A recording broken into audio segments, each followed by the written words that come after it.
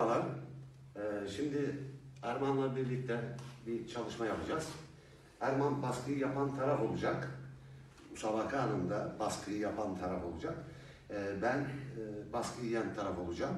Fakat benim e, kaçış anında, e, alan değiştirme pozisyonlarında Erman şuradan gereğiyle puan arayacak. Ee, onu e, göstereceğiz şimdi. başlıyoruz.